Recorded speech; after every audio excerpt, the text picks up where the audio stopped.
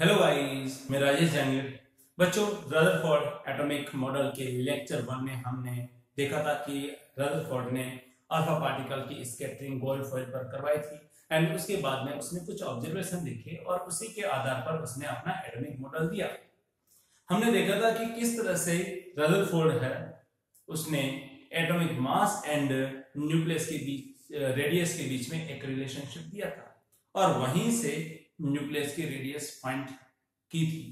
तो बच्चों रिलेशन क्या था उसी से हम आगे प्रोसीड करते हैं यहां पर radius of nucleus R is equal to R naught A raise to the power one by three ये उसने एक रिलेशनशिप दिया था आर नॉट की जो वैल्यू थी मैंने आपको बताया थी कैलकुलेशन के लिए 1.3 point three into ten raise to the power minus thirteen centimetre use में लेते हैं नो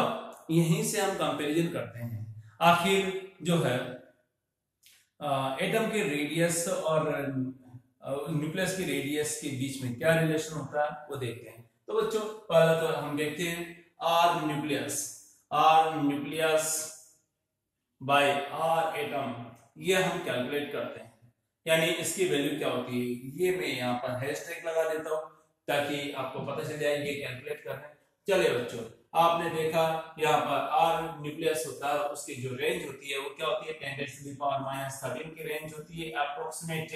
इस रेंज की हम बात करेंगे यहाँ पर सेंटीमीटर जबकि रेडियस की जो या एटम की एटम की जो रेडियस है जिसे हम कहते हैं एटॉमिक रेडियस उसकी जो वैल्यू होती है वो ten raise to power minus eight centimetre की रेंज में होती है जब हम देखते हैं तो इन दोनों का रेशियो आता है ten to power minus five इसका मतलब मैं ऐसे कर सकता हूँ कि यहाँ पर जो एटम के कंपेरिजन में न्यूक्लियस है वो ten raise to the power minus five times smaller होता है या मैं ऐसा कर सकता हूँ आर न्यूक्लियस है वो ten raise to the power five times smaller होता है एटम की रेडियस के कंपेरिजन में चलिए नाउ वॉल्यूम फाइंड आउट कर लेते हैं तो वॉल्यूम कैसे फाइंड आउट करें बच्चों यहाँ पर वॉल्यूम ऑफ जो है न्यूक्लियस उसका वॉल्यूम ऑफ एटम इन दोनों के बीच में हमें रिलेशनशिप फाइंड आउट करना है क्या होता है चले बच्चों आपने देखा कि एटम कैसा होता है स्पेरिकल होता है जैसा कि रदरफोर्ड ने बताया बिल्कुल एक स्पेयर के फॉर्म में रहता है और न्यूक्लियस भी क्या होता है एक स्पेयर के फॉर्म में रहता है आपने देखा कि यहाँ पर जो है एक बड़े स्पीयर के अंदर एक छोटा सा स्पीयर जो है उसके सेंटर के अंदर प्रेजेंट रहता है चले बच्चों यहाँ पर दोनों के रेडियन वॉल्यूम का रेशियो फाइंड आउट करते हैं हम ये स्पीयर है ये भी स्पीयर है तो इसका मतलब मैं ऐसे कर सकता हूँ V nucleus V nucleus divide by क्या होगा V atom is equal to क्या कर सकता हूँ बच्चों यहाँ पर four by three pi pi R R nucleus मैं ये पुट करूंगा raise to the power three divide by क्या होगा four by three pi R atom raise to the power क्या हो जाएगा बच्चों थ्री जब हम वैल्यू पुट करते हैं वैसे हम कह सकते हैं कि फोर बाई थ्री पाई से four by three pi cancel कर सकते हैं इसकी वैल्यू क्या है बच्चों इसकी वैल्यू होती है ten raise to the power minus three thirteen की रेंज में होती है आर न्यूक्लियस तो ten raise to the power minus thirteen centimetre cube divide by atom की जो रेडियस होती है वो ten raise to the power minus eight centimetre की रेंज में होती है तो हमने कहा ten raise to the power minus eight centimetre cube जब हम इसको सोल्व करते हैं तो ten x the power minus fifteen आ जाता है मतलब जो है न्यूक्लियस का वॉल्यूम काफी काफी कम होता है एटम जो है उसका वॉल्यूम है वो काफी काफी काफी ज्यादा होता है बच्चों हम ऐसा भी कर सकते हैं कि अगर एक क्रिकेट ग्राउंड है जिसमें अगर क्रिकेट की बॉल है क्रिकेट की बॉल है वो न्यूक्लियस है तो ऐसे में क्रिकेट का जो ग्राउंड होगा जिसकी रेडियस क्योंकि ग्राउंड है सर्कुलर लेना है तो उसकी रेडियस फाइव किलोमीटर की होगी तब जा करके न्यूक्लियस का साइज वो क्रिकेट की बॉल के इक्वल होगा इतना इतना छोटा होता है न्यूक्लियस हम ऐसा कर सकते हैं बच्चों तो इस वॉल्यूम से भी आपको यानी इन दोनों के रेशियो से आपको पता चल चुका होगा कि न्यूक्लियस का जो वॉल्यूम होता है वो काफी काफी कम होता है एटम के लिए वॉल्यूम तो के कंपेरिजन में लगभग ten ratio power minus fifteen times कम होता है एटम के वॉल्यूम के कंपेरिजन में न्यूक्लियस का वॉल्यूम तो ये आपका होगा ना डेंसिटी आपने देखा था कि अल्फा पार्टिकल स्केटरिंग के समय ट्वेंटी थाउजेंड अल्फा पार्टिकल से एक जो अल्फा पार्टिकल वो वापस से रिटर्न हो गया था इसका मतलब कहा गया था कि एटम का जो मैक्सिमम मास है या कंप्लीट मास है वो न्यूक्लियस के अंदर ही प्रेजेंट होता है और वो काफी काफी काफी ज्यादा डेंसी होता है यानी उसकी डेंसिटी काफी काफी ज्यादा होती है तो बच्चों में यहाँ पर डेंसिटी ऑफ न्यूक्लियस के बारे में बात करूंगा पहले उसे कैलकुलेट कर लेते हैं कि आखिर कितनी होती है तो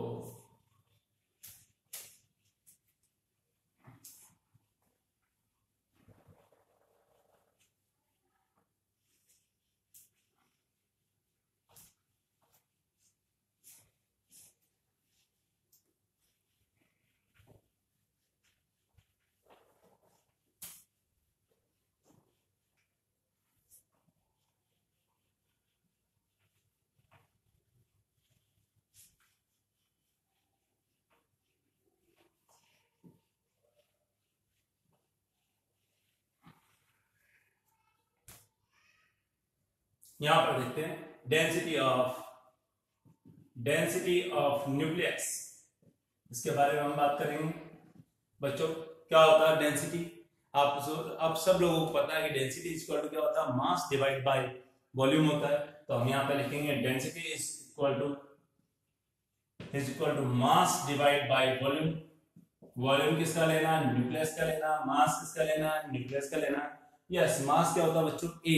लेकिन ए तो वो तो मास नंबर होता है और अपने मोल कॉन्सेप्ट के अंदर पड़ा है कि अगर एक एटम का मास निकालना होता है तो क्या होगा मास नंबर को ए एम यू से मल्टीप्लाई कर देते हैं यानी A M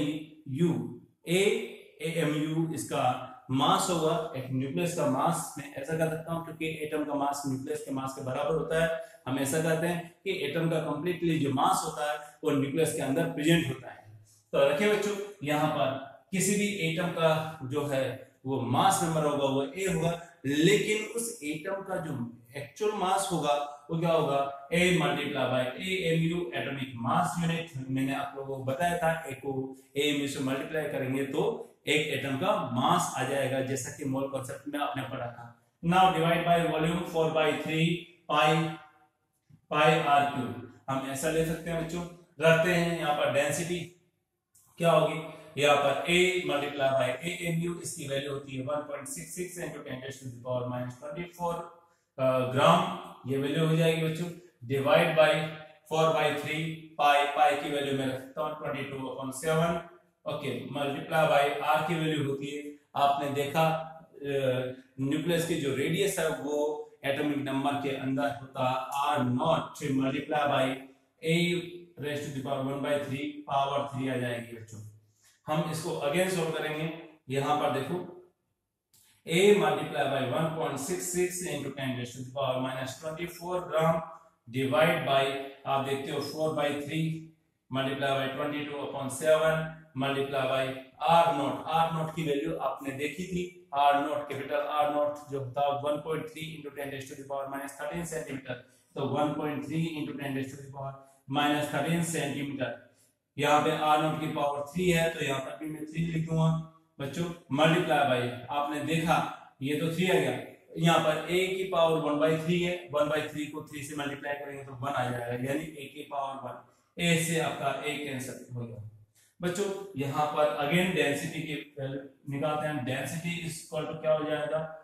बच्चों सॉल्व करोगे आप one point six six into ten to the power minus twenty four gram divide by आप लिखोगे यहाँ पर twenty two upon seven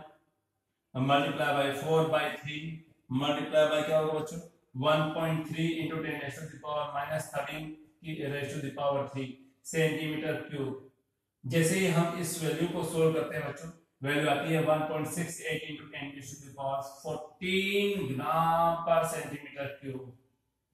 बच्चों ये आपकी डेंसिटी आती है न्यूक्लियस की इसका मतलब आपने देखा यहाँ पर वाटर की डेंसिटी कितनी होती है one gram per centimetre cube और न्यूक्लियस की डेंसिटी इतनी होती है इसका मतलब न्यूक्लियस की डेंसिटी काफी काफी काफी ज्यादा होती है अर्थ पर किसी भी सब्सटेंस का जो की डेंसिटी है वो इतनी नहीं होती जितने की न्यूक्लियस की डेंसिटी होती है तो बच्चों यहाँ पर काफी ज्यादा डेंसिटी होती है इसकी और इसी से कोलाइड होकर के अल्फा पार्टिकल वापिस से रिफ्लेक्ट हो जाता अपने पास पर रिटर्न हो जाता है तो बच्चों ये तो थे यहाँ पर फॉर एक्सपेरिमेंट से रिलेटेड कुछ टर्म जो उसने डिस्कवरी की थी उसने ये और बताया था कि जब अर्थ पार्टिकल अपने पास से डेविएट हो रहे थे तो डेविएट होने वाले पार्टिकल एन थीटा के बीच में रिलेशन क्या होता है ये भी उन्होंने बताया था तो चलो उसी के बारे में बात करते हैं बच्चों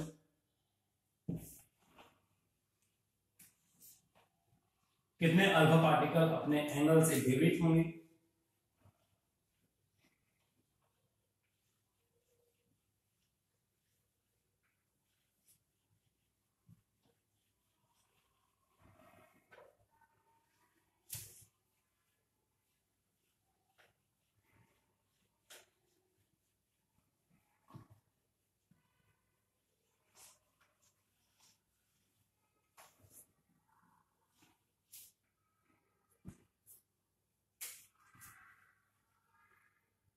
Next the point relationship between relationship between between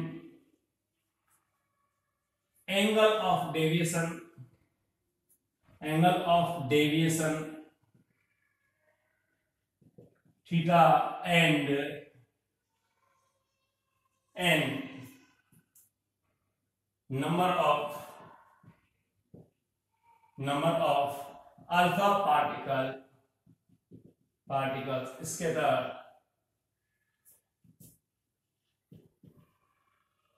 यहां पर देखते हैं बच्चों हमने देखा था कि यहां पर ये न्यूक्लियस है न्यूक्लियस से कुछ अल्फा पार्टिकल है वो डेविट हो जाते हैं सीधे जाना चाहिए था लेकिन वो अपने पास से कुछ डेविट हो जाते हैं इस टाइप से और उसने कहा था कि कुछ अल्फा पार्टिकल अपने पास से डेबिट हो जाते हैं और एंगल की वैल्यू बढ़ने पर अल्फा पार्टिकल की स्केटरिंग की रेट कम हो जाती है तो बच्चों ये तो था थीटा और ये है आपका न्यूक्लियस न्यूक्लियस और ये है आपके अल्फा पार्टिकल जो कि डेबिट हो रहे हैं इस अल्फा पार्टिकल के जो नंबर जो डेबिट होते हैं थीटा एंगल से इसके इन दोनों के बीच में एक रिलेशनशिप दिया हुआ था थीटा की वैल्यू ज्यादा होगी तो एन की वैल्यू कम होगी ऐसा उसने बताया था लेकिन रिलेशनशिप क्या था वो बता देता हूँ यहाँ पर देखिए साइन जो है N theta two N theta two divide by N theta one is equal to क्या होगा बच्चों sine four theta one by two divide by sine four theta two by two ये एक रिलेशनशिप दिया था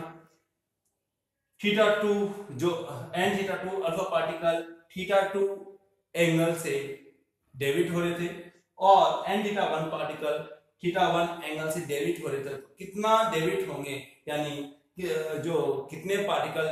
यहाँ पर स्केटिंग शो करेंगे डेबिट होंगे अपने पास से वो इस फॉर्मूला से हम कैलकुलेट कर सकते हैं एक क्वेश्चन इसी के बेसिस पर है यहाँ पर वैसे मैं एन टर्म ले देता हूँ N theta two is to क्या है number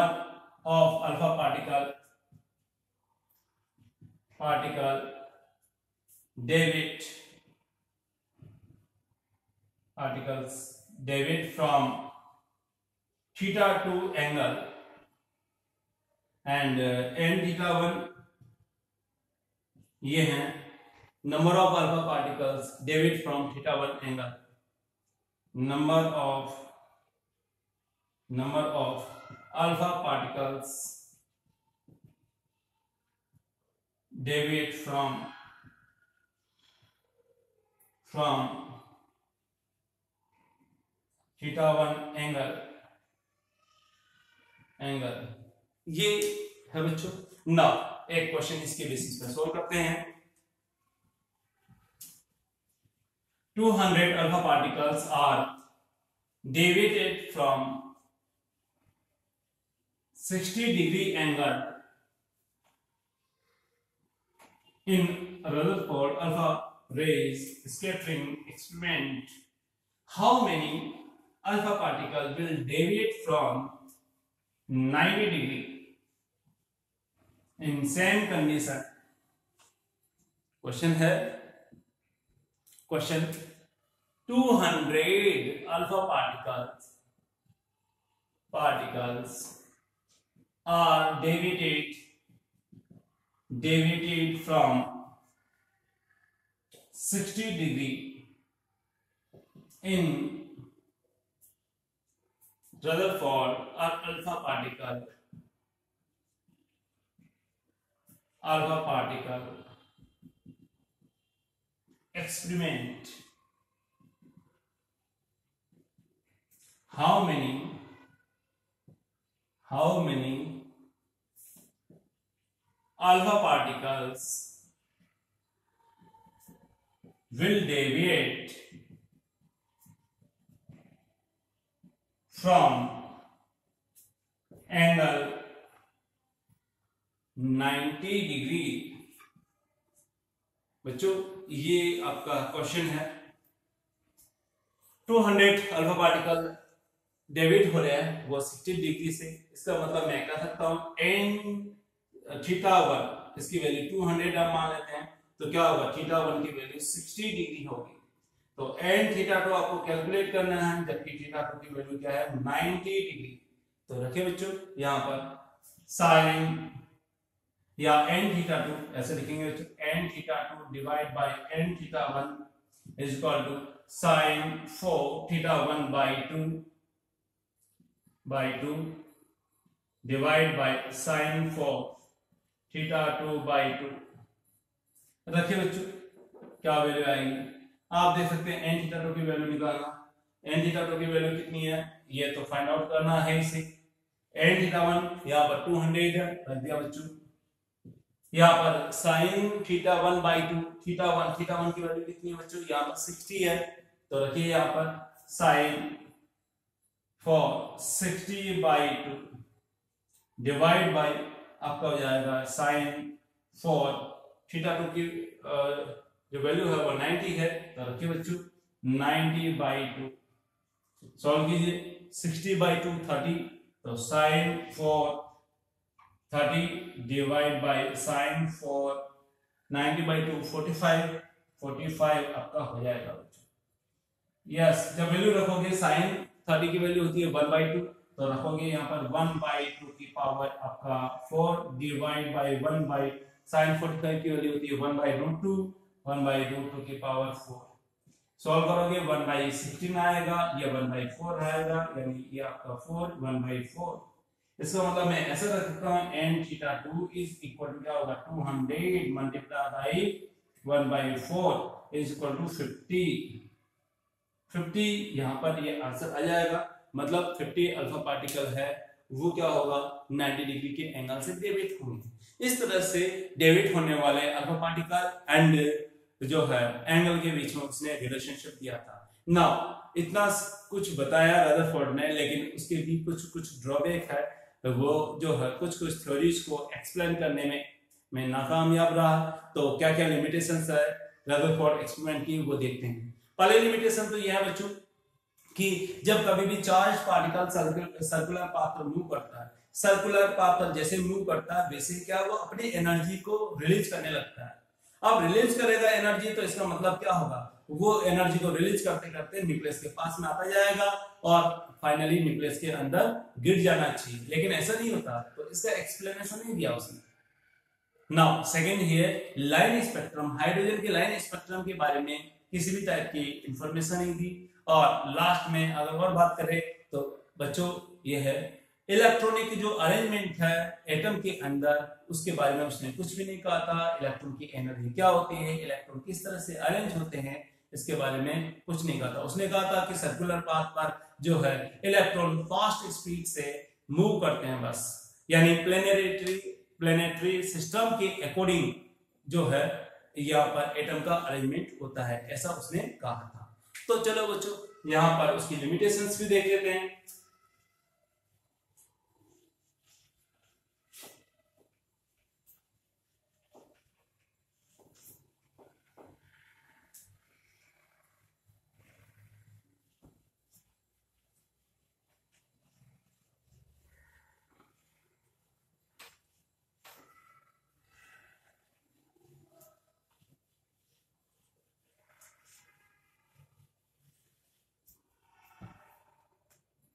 यहां पर देखिए लिमिटेशन लिमिटेशन क्या होती है बच्चों पहले लिमिटेशन है हम लेते हैं यहां पर first according to Maxwell electron या एनर्जी डिस्ट्रीब्यूशन का तो मैं यहां पे लिखूं या theory of electromagnetic according to Maxwell's theory of magnetism,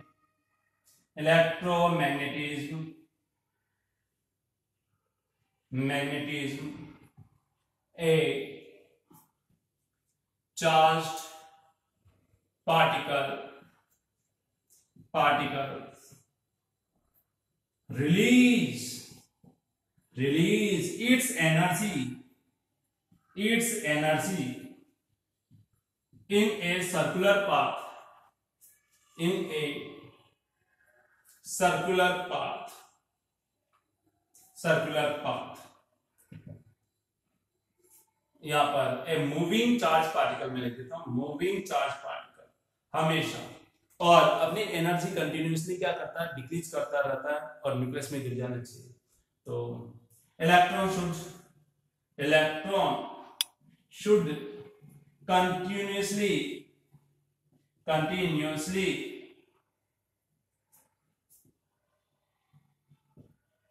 release its energy energy and should fall in nucleus should you fall in nucleus fall in nucleus nucleus mein gir jana chahiye bachcho continuously अपनी energy raise करते हुए जैसे मैं इसकी बात करूंगा ये nucleus है इलेक्ट्रॉन सर्कुलर पाथ पर रिवोल्व रिवोल्व करता रहता है और अपनी एनर्जी को बाहर निकालता रहता है यहाँ पर ये इलेक्ट्रॉन है उसका पाथ ये होगा अपनी एनर्जी कंटिन्यू यहाँ पर एनर्जी बाहर रिलीज करेगा और रिलीज करेगा तो न्यूक्लियस के पास में आएगा और इस तरह से सर्कुलर पाथ पर ये मूव करता करता करता करता करता फाइनली न्यूक्लियस में गिर जाना चाहिए लेकिन ऐसा नहीं होता है तो क्यों नहीं होता इसका एक्सप्लेनेशन रदरफोर्ड नहीं दे पाया ना सेकंड पॉइंट लाइन स्पेक्ट्रम के बारे में उसने कुछ नहीं बताया था हाइड्रोजन के लाइन स्पेक्ट्रम के बारे में एंड थर्ड पॉइंट है इलेक्ट्रॉन का जो अरेंजमेंट होता है या उसकी एनर्जी होती है उसके बारे में कुछ नहीं बताया था तो मैं सेकंड पॉइंट लिखूंगा बच्चों क्या सेकंड लिमिटेशन है he could not could not explain explain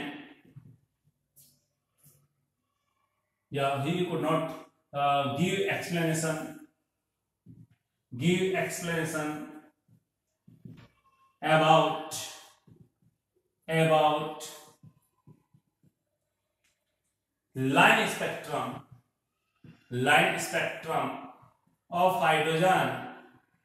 of hydrogen line spectrum क्या होते हैं बच्चों ये बोर थ्योरी की जस्ट बाद में मैं स्पेक्ट्रम टॉपिक स्टार्ट करूंगा और वही पर मैं आपको बताऊंगा यानी हाइड्रोजन के लाइन स्पेक्ट्रम के बारे में कुछ नहीं बता सका और next last and final third point है he co dot he could not expand about energy of electron